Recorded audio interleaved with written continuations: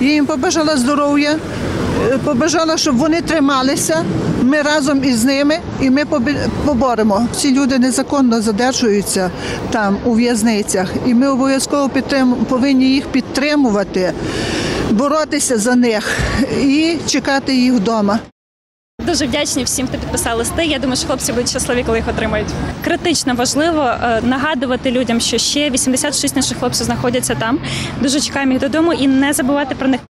Кожна людина повинна знати, що трапляється на, на- насправді, і що до Криму або Росії е, є небезпека їхати, е, бо кожна людина може залишитись е, в'язнем.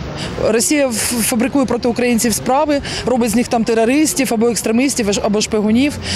І під тортурами, на жаль, наші громадяни себе омовили і також зараз знаходяться у в'язницях. В Крыму при украинской власти ни одного дня не было проукраинской власти.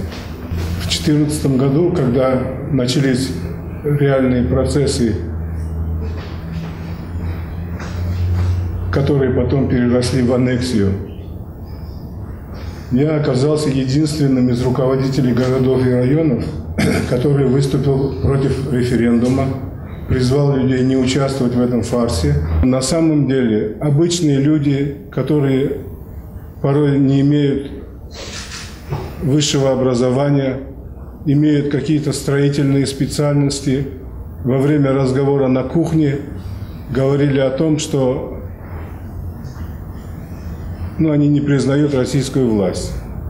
Какие-то скрытые свидетели рассказывают об этом, и человек получает 20-летний тюремный срок.